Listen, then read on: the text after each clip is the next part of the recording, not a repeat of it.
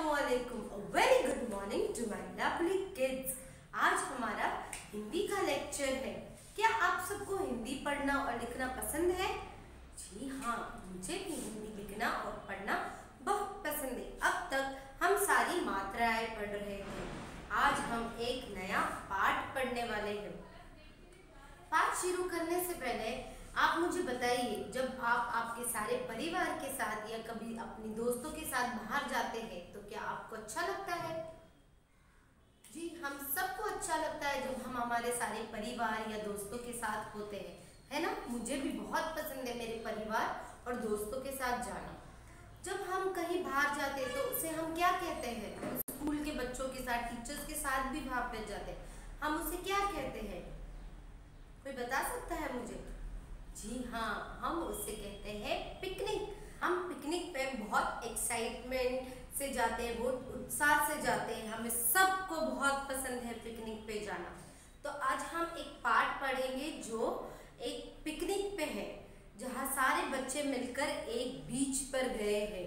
क्या आपको पता है बीच क्या है? नहीं? तो चलिए, आपको मैं बताती हूँ बीच क्या है और बीच को हिंदी में क्या कहा जाता है। तो चलिए हम वो पार्ट एक साथ पढ़ते हैं और उसे समझने की कोशिश करते हैं।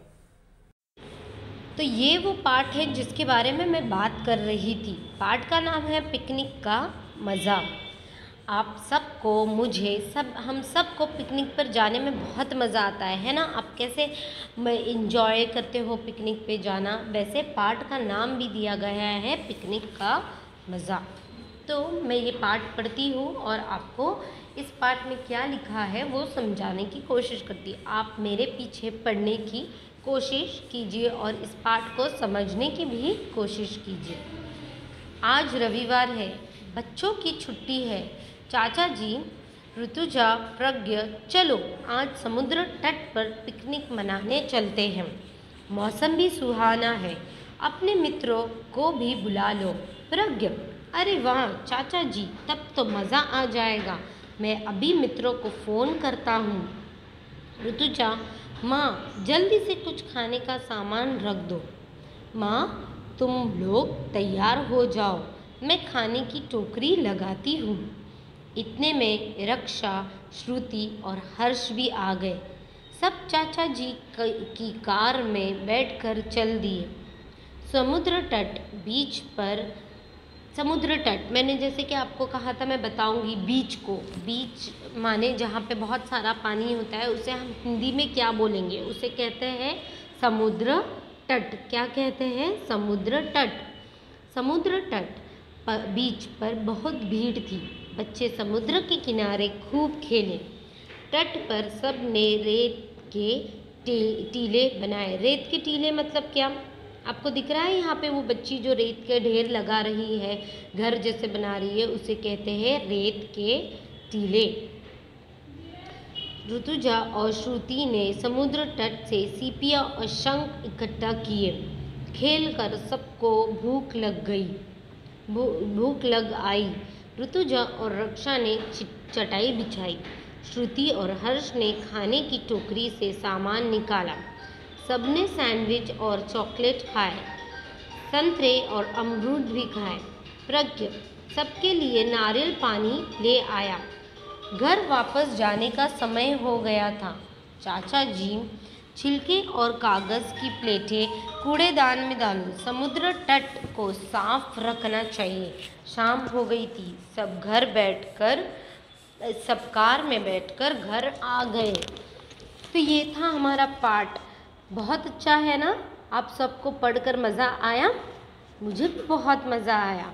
तो चलिए मैं आपको समझाती हूँ इस पाठ में क्या क्या लिखा है। आज रविवार है मतलब रविवार का दिन था। जैसे कि आप सब जानते हैं, रविवार को हम सबकी घर में छुट्टी होती है। तो सारे बच्चे भी घर में थे।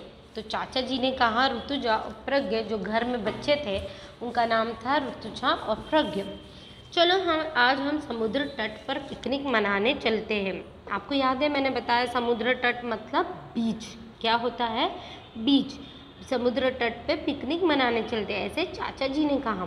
चाचा जी ने ये भी कहा, मौसम सुहाना है। जब मौसम बहुत अच्छा होता है, ठंडा होता है, ज़्यादा धूप नहीं होती है, ज़्यादा बारिश नहीं होती है, हम सब ऐसे मौसम में बाहर जाना पसंद करते हैं। है ना? तो चाचा जी ने कहा, मौसम भी सुहाना है, अपने मित्रों को भी बुला लो। उन्होंने क्या कहा, अपने मित्रों को भी बुला लो। प्रज्ञा ने कहा, अरे वाह, चाचा जी, तब तो बहुत मज़ा आएगा। जैसे आप सबको अपने मित्र यानी फ्रेंड्स के साथ खेलने में, बाहर जाने में मज़ा आता है, जैसे प्रज्ञा एक बच्चा था, उसे भी उसके मित्रों के साथ जाने में बहुत मज़ा आने वाली थी। तो उसने कहा, चलो मैं अपने मित्रों को फ़ोन करता हूँ। इतने में ऋतुजा ने माँ से कहा हाँ जल्दी से खाने पीने का सामान रख दो। क्या कहा? खाने पीने का सामान? आप जानते हो ना, आप पिकनिक पे जाते हो तो आपकी मम्मी आपको बहुत सारे खाने पीने का सामान देती है। तो ऋतुजा ने कहा, आप हमें खाने पीने का सामान दे दो। माँ ने कहा, ठीक है, आप जल्दी से तैयार हो जाओ, मैं खाने पीने की टोकरी रखती हूँ। इतने में रक्षा श्रुति और हर्ष भी आ गए। ये तीन कौन थे? ये प्रज्ञा और ऋतुजा के दोस्त थे, जिन्हें इन्होंने फ़ोन करके बुलाया था। ये सब भी आ गए। फिर वो सब कार में बैठ कर चल दिए आप देख रहे हो, सारे बच्चे और चाचा जी कार में हैं। वैसे ये सारे लोग कार में बैठ कर चल दिए। जब वो समुद्र तट मतलब बीच पर पहुँचे, बहुत भीड़ थी। छुट्टी का दिन था, इसलिए हम कहीं भी छुट्टी के दिन जाते हैं, जैसे मॉल हो गया या कहीं पिकनिक की जगह पे तो वहाँ पे बहुत भीड़ होती है। समुद्र, बच्चे समुद्र के किनारे खूब खेले, सारे बच्चे समुद्र के किनारे खेल रहे थे। तट पर सबने रेत के टीले बनाए।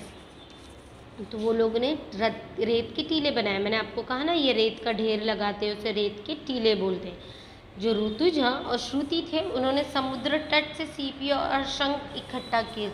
सीपी और शंख मतलब शेल्स शेल्स होते ना अलग अलग शेप के, वो इकट्ठा किए।